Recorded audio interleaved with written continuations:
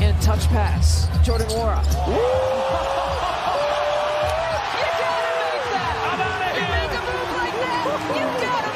Oh my goodness! You get the owner Marc Lasry, standing up.